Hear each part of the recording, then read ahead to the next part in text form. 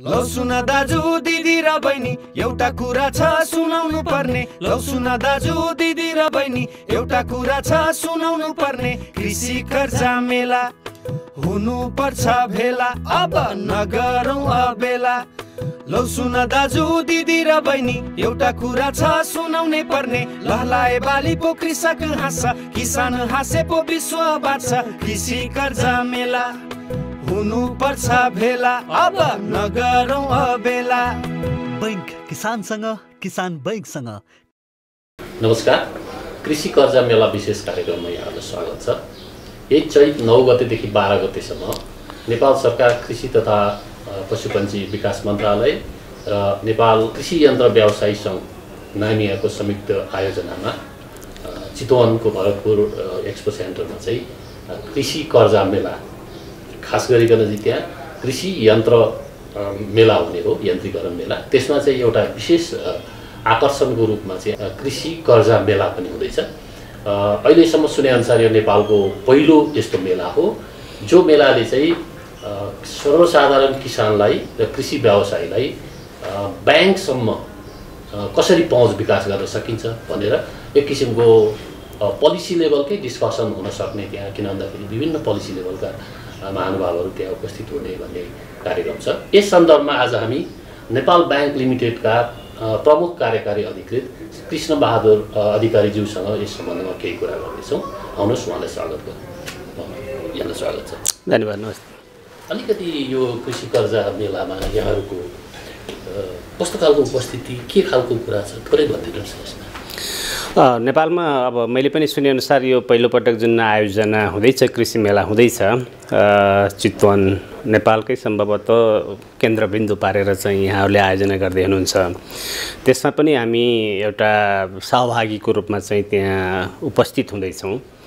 वास्तवमा नेपाल एउटा कृषि प्रधान देश पहिलादेखि नै हाम्रो परिचय त्यस्तै प्रकारको बनिराखेको अवस्थामा यो खालको मेला प्रदर्शनीहरू आयोजना हुँदाखेरि यसले कृषकहरूमा एउटा उत्साह नयाँ जाँगर र नयाँ एउटा चाहिँ ज्ञानको पनि अभिवृद्धि गराउने छ भन्ने हामीले एउटा चाहिँ विश्वासका साथ एउटा सहभागी आयोजकै नभनौँ प्रायोजक पनि नभनौँ एउटा सामान्य सहभागीको रूपमा चाहिँ हामी नेपाल ब्याङ्क लिमिटेड पनि सहभागी हुन लागिरहेको चाहिँ अवस्था हो। अहिलेसम्म चाहिँ नेपाल ब्याङ्क लिमिटेडले खास गरी कृषि कर्जामा कस्तो खालको काम गरेको छ? सुनि सबभन्दा पुरानो ब्याङ्क पनि भयो। अब नेपाल ब्याङ्क लिमिटेड अब पुरानो भन्नुभयो हामी नेपालमा ब्याङ्किङ सेवाको प्रादुर्भाव गर्ने ब्याङ्क हो। पचासी वर्षमा अहिले हामी सेवा गरिराखेका छौँ। अब यसो हुँदाखेरि स्थापना कालदेखि नै सुरुमा त नेपालमा उद्योग धन्दाहरूको त त्यति ऊ पनि थिएन। त्यस कारणले गर्दाखेरि प्रारम्भिक चरणदेखि नै हामीले कृषिमा राम्रो योगदान गर्दै आइरहेको अवस्था हो। तपाईँले अब उद्योग धन्दाहरूको कुरा गर्दाखेरि धेरै खालको उद्योग धन्दाहरू पर्छन् त्यसभित्र पनि जस्तो जुट मिलको कुराहरू गऱ्यौँ होइन? सुगर मिलका कुराहरू गऱ्यौँ यी पनि कृषिभित्रकै कुराहरू त हुन् नि। अब यस्ता उद्योगहरूमा हामीले पहिलादेखि नै लगानी गर्दै आइराखेको हो र ठुला उद्योगहरू मात्रै होइन। गाउँ घरमा सानो सानो लेभलमा तल्लो तह तहका जुन एउटा चाहिँ कृषकहरू हुनुहुन्छ उहाँहरूलाई तरकारी बाली लगाउनेदेखि लिएर केराखेती लगाउनेदेखि लिएर अथवा लाइभ स्टकका बा जुन गाई गाई भैँसी पालनहरूको कुराहरूदेखि लिएर यस्ता विविध क्षेत्रहरूमा चाहिँ हामीले कृषकहरूलाई चाहिँ सहयोग वित्तीय सहयोग वित्तीय ज्ञान अब वित्तीय सेवाहरू चाहिँ प्रदान गर्दै आइरहेका चाहिँ छौँ। यो प्रारम्भिक कालदेखि नै हो। अहिलेसम्म हामीले हुन त अहिले नेपाल राष्ट्र ब्याङ्कले सबै ब्याङ्क तथा वित्तीय संस्थाहरूलाई एक खालको निर्देशनहरू पनि जारी गरेको छ। तपाईँहरूले यो आर्थिक वर्षको शान्तसम्म यति प्रतिशत पुरा टोटल कर्जाको यति प्रतिशतसम्म लगानी गर्नुपर्छ भन्ने कुराहरू गरिराखेको छ। त्यति नहुँदाखेरि पनि नेपाल एउटा कृषि प्रधान देश हो। यहाँका सर्वसाधारण नेपालीहरूको जीवनस्तर नौकासीसम्म समग्र देशको आर्थिक विकास पनि सम्भव हुँदैन भन्ने एउटा हाम्रो ध्येय। हाम्रो चाहिँ सोचाइ त्यस्तो रहन्थ्यो। त्यस हिसाबले गर्दाखेरि नेपालको यो पहिलो ब्याङ्क भएको नेपाल सरकार र सर्वसाधारण जनताहरूको चाहिँ एउटा संयुक्त लगानीको ब्याङ्क भएको कारणले गर्दाखेरि पनि सर्वसाधारणहरूको जीवनस्तर उकास्नको लागि कृषिमा हामीले एउटा वित्तीय अब चाहिँ सेवा पुर्याउनुपर्छ भन्ने हिसाबले हामीले लगानी गर्दै आइरहेका थियौँ। अहिलेकै कुरा गर्ने भने हामी हाम्रो टोटल पोर्टफोलियोको हाम्रो टोटल भनौँ न कर्जाको भोल्युम जे छ त्यो कर्जाको चौध प्रतिशत हामी लगानी गर्दै आइरहेका छौँ। भनेपछि सम्भवतः यो नेपालको बैङ्क तथा वित्तीय संस्थाहरूमा ठुलो फिगर नै चाहिँ हो। जुन चौध प्रतिशत भनेको नेपाल राष्ट्र ब्याङ्कले अहिले एघार प्रतिशत आगामी चाहिँ असार मसान्तमा बाह्र प्रतिशत भनेको छ। ती कुराहरू त हामीले अलरेडी फुलफिल गरेर बसेको र यसको मतलब हामी के भने त्यो नीति त्यो निर्देशन्सहरूको पालनाको लागि मात्रै होइन। देशको आर्थिक विकासको लागि पनि यसले चाहिँ एउटा कोसेढुङ्गा साबित हुनेछ। यो हामी अधिकांश हाम्रा चाहिँ नेपाली दाजुभाइहरू कृषिमै एउटा निर्भर रहेको। अब सुनि भनिन्छ हामी दुई तिहाई हाम्रो जनसङ्ख्या चाहिँ कृषिमा आश्रित छ। अनि लगभग लगभग अब वान थर्डै नभए पनि हाराहारीको हारी चाहिँ उसमा देशको कुल गारस्थी उत्पादनमा चाहिँ कृषिको चाहिँ एउटा योगदान छ भनेपछि यो क्षेत्रको लागि चाहिँ हामीले उत्थान गर्नुपर्छ भन्ने हाम्रो उद्देश्यका साथ विभिन्न हामी फलफुल खेतीदेखि लिएर अब लाइभ स्टकदेखि लिएर अरू सङ्गठित उद्योगहरू अघि मैले भने जुट उद्योगका कुराहरू हुन सक्छन् अब फुड प्रोसेसिङका कुराहरू हुन सक्छन् अ, सुगर इन्डस्ट्रीका कुराहरू हुन हुन सक्छन्। यस्ता सङ्गठित क्षेत्रहरूमा पनि हामीले लगानी गर्दै आइरहेका छौँ। अब नेपाल सरकारले पनि यसलाई एउटा चाहिँ महत्त्वका साथ किन दिइराखेको छ भने कृषकहरूलाई उहाँहरूको जीवनस्तर उकास्नको लागि भनेर कृषिमा जे जति चाहिँ अब ऋणहरू उहाँहरूले चाहिँ कृषि क्षेत्रमा लगाउनुहुन्छ त्यसमा एउटा सिलिङ छ थ्रेसोल्ड छ जस्तो पाँच करोड रुपियाँसम्मको लागि नेपाल सरकारले बैङ्क तथा वित्तीय संस्थाहरूले लिने ब्याजमा पाँच प्रतिशत अनुदान दिएको छ। अनि अब त्योभन्दा बढी दस करोडसम्मको रुपियाँमा चाहिँ त्यो बिचको पाँच करोडको लागि थप दुई प थप दुई प्रतिशत होइन त्यसको लागि दुई प्रतिशत मात्र चाहिँ ब्याज अनुदान दिएको छ। यसो हुँदाखेरि राज्यले पनि एउटा ठुलो चाहिँ लगानी यसमा गरिरहेको चाहिँ अवस्था हो। अब धन्यवाद।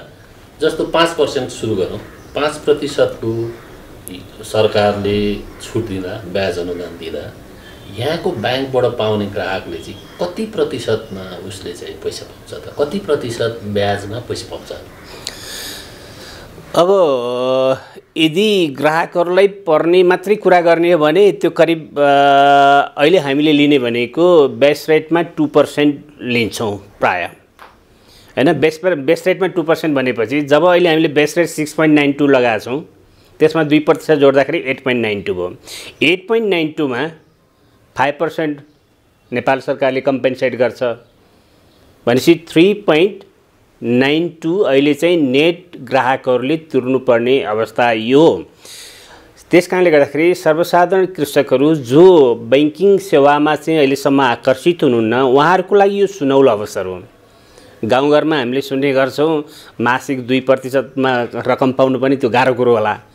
तिन प्रतिशतको हाराहारीमा चाहिँ रकम सापट्टि लिएर कुनै कारोबार गर्नुभन्दा कृषि जुन हाम्रो एउटा चाहिँ देशको आवश्यकता पनि छ अहिले कृषिमै मात्रै हामी कतिपय कुराहरू चाहिँ आयात गरेर पनि अहिले चाहिँ हामीले चाहिँ चलाउनु परिरहेको अवस्थामा कमसे कम निर्यात गर्न नसके पनि आयातलाई प्रतिस्थापन गर्नको लागि भयो भने पनि हामीले त्यसमा चाहिँ जुर्मुराउनु पर्ने अवस्था छ र त्यस हिसाबले गर्दाखेरि तिन प्रतिशत जम्मा ब्याज भनौँ बैङ्क तथा वित्तीय संस्थाहरूले पाउने रकम त बढी नै हो जुन गभर्मेन्टले तिर्दिन्छ तर ग्राहकहरूलाई चाहिँ तिन प्रतिशत भनेको त्यति ठुलो कुराहरू भएन।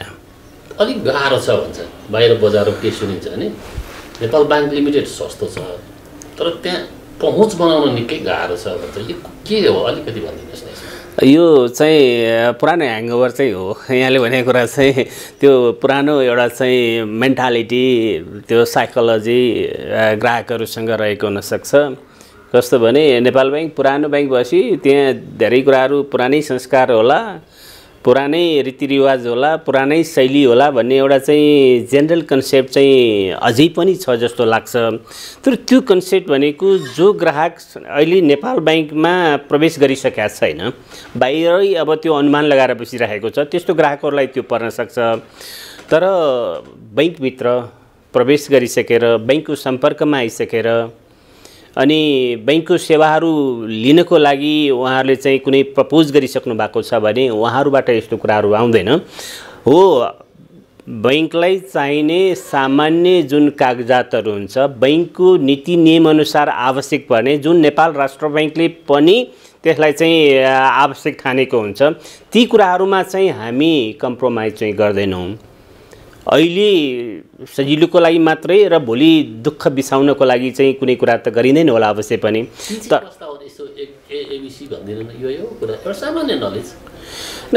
अब यहाँको चाहिँ नेपालमा नेपाल बैङ्कमा काम गर्नलाई अप्ठ्यारो छ भन्ने कुराहरू चाहिँ त त्यो पुरानो कुराहरू हो होइन?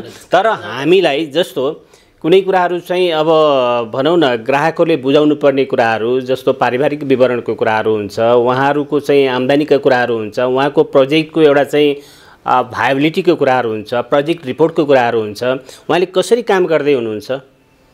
होइन उहाँको ब्याकग्राउन्ड के हो? ती कुराहरू बेसिक कुराहरू हुन् नि ती कुराहरूमै कम्प्रोमाइज गर्ने भन्ने कुराहरू त चाहिँ रहँदैन।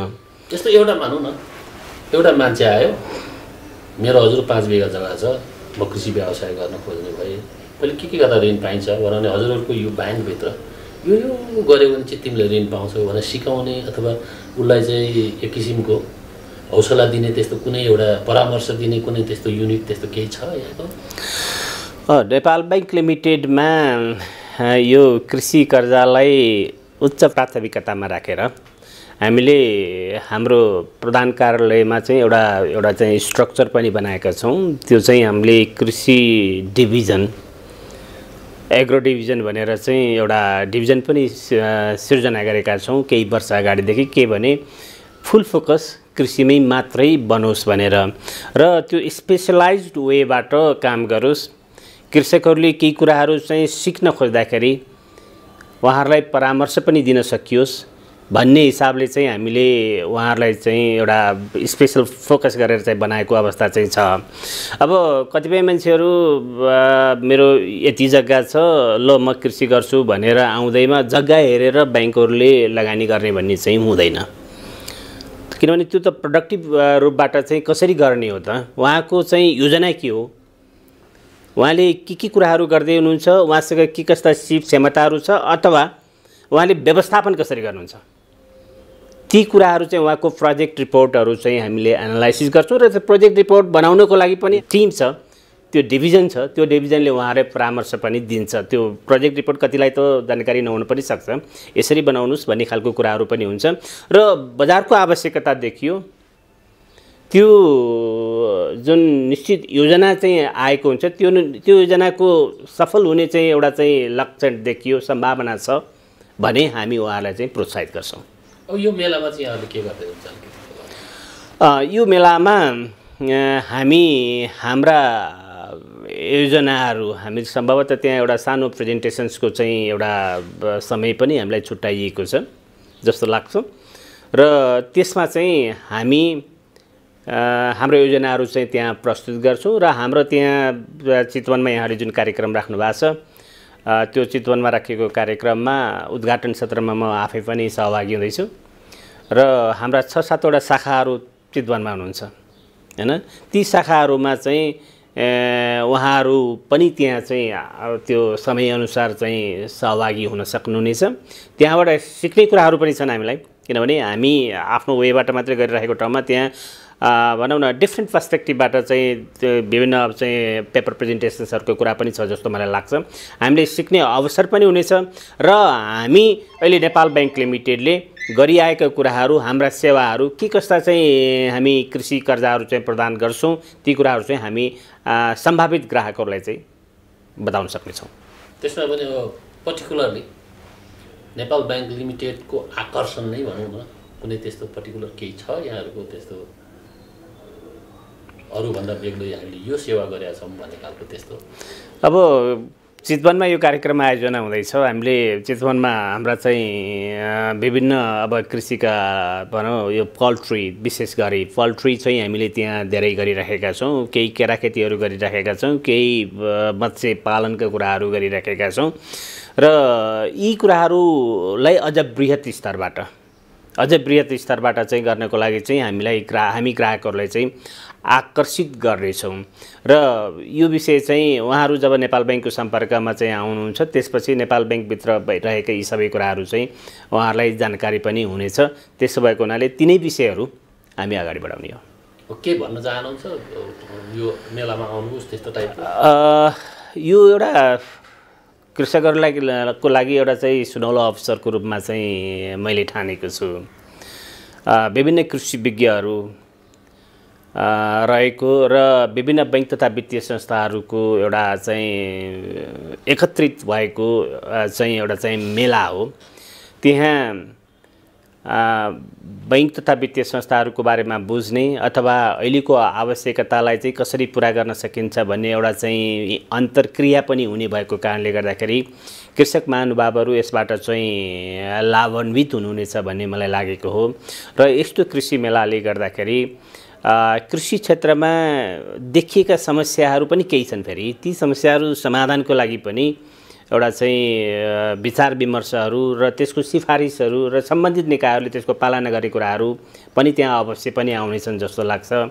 अब कृषिमा कृषि गर्ने कृषि गर्ने भनेर त भनिन्छ र अहिले कृषि चाहिँ कस्तो पनि भएको छ भने एउटा चाहिँ के भने जग्गा किनेर कृषिको नाममा जग्गा किन्ने अनि जग्गा होल्ड गर्ने दुई वर्ष राख्ने अनि त्यसपछि बिक्री गर्ने। त्यस्तो खालको एउटा चाहिँ मेन्टालिटी पनि देखिएको छ। अब त्यसलाई चाहिँ अलिकति कन्ट्रोल गर्न वास्तविक कृषकहरू यसबाट लाभान्वित हुन्।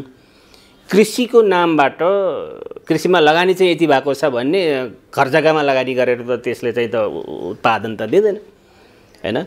त्यो एउटा व्यावसायिक प्रयोजन जुन ट्रेडिङ प्रयोजनको हिसाबले चाहिँ अब र त्यो पनि कृषिभन्दा बाहिर कृषिको खोल ओढेर त्यसरी पनि गर्ने गरिन्छ। अब त्यसलाई चाहिँ एउटा रोकथाम गर्ने चाहिँ एउटा कुनै उपायहरू पनि त्यहाँ आउन सक्ला। वास्तविक कृषकहरू लाभान्वित हुने चाहिँ के उपायहरू हुन्छन् त्यसमा पनि हामीले सोच्नुपर्ने होला। र अझै अब अहिले एउटा चाहिँ के पनि छ भने यहाँहरूलाई भन्दाखेरि कृषि गर्ने भनिन्छ कृषि गर्ने भनिन्छ। हाम्रो जग्गाको चाहिँ स्वरूप हेरौँ न जग्गाको स्वरूप अब मेरो दुई रोपनी कसैको चार रोपनी कसैको छ रोपनी। त्यस्तो हिसाबको चाहिँ फ्रेगमेन्टेड हिसाबले छ नि। त्यसलाई एकत्रित एउटा पुलिङ कसरी गर्न सकिन्छ? ल्यान्ड पुलिङ कसरी गर्न सकिन्छ त्यो कृषिको उत्पादकता वृद्धि गर्नको लागि। अब त्यसको लागि एउटा लिजिङ मोडालिटिज पनि अब राम्रोसँग स्थापित नभइसकेको अवस्थामा ब्याङ्कहरूलाई पनि केही कुराहरू चाहिँ कोही जेन्युन ग्राहकहरू आउँदाखेरि पनि केही पालिसीगत हडल्सहरू पनि हुनसक्छ। त्यस्ता कुराहरूलाई पनि अब समाधान गर्नको लागि केही त्यहाँबाट भनौँ न कुनै उपायहरू कुनै जुक्तिहरू निस्कन सक्छ कि भन्ने चाहिँ मलाई लाग्छ। हस् धन्यवाद धन्यवाद।